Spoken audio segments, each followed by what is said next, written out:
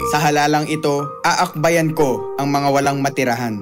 Ang abot kayang pabahay, tuloy-tuloy na ipaglalaban. Iboto number 146 Akbayan, ang party list ng Balanced Housing Law. Paid for and by Akbayan Party List, 52 Masikap, Pinyahan, Quezon City.